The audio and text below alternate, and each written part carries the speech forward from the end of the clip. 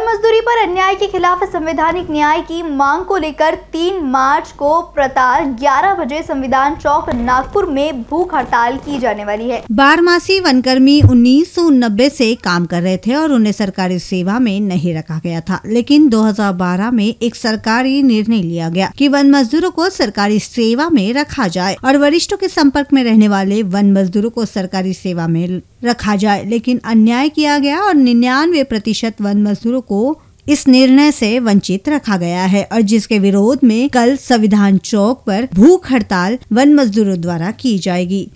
जगदीश मेश्राम, मी भीम आर्मी चिमूर तालुका अध्यक्ष।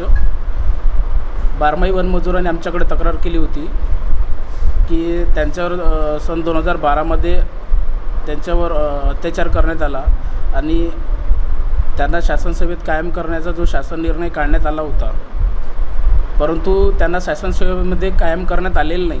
कारण जे वरिष्ठांच्या जवळचे काही वनमजूर होते त्यांना फक्त त्यांनी शासनसेवेमध्ये कायम कर केलं.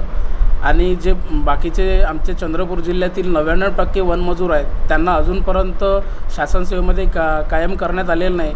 आतापर्यंत काही त्यांचं वय पूर्ण झालं त्याच्यामुळे साठ वर्ष पूर्ण झाली की त्यांना कामावरून काढलं जातं.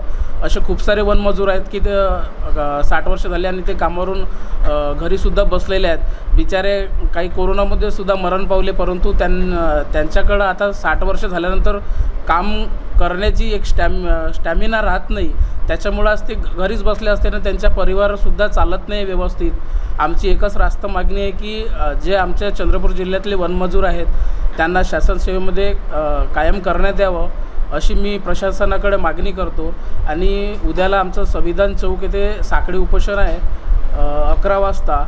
तरी आमच्या उपोषणस्थळी कुठल्या प्रकारचे प्रशासन येऊन आम्हाला न्याय देतील अशी आम्ही त्यांची वाट बगनर। संविधान चौक पर अपनी मांग को लेकर वनकर्मी भूख हड़ताल करने वाले हैं। अब देखना ये होगा कि इस भूख हड़ताल से उन्हें न्याय मिलता है या नहीं। कैमरा पर्सन राजकुमार मोड़ के साथ क्षितिजा देशमुख बी न्यूज़ नागपुर।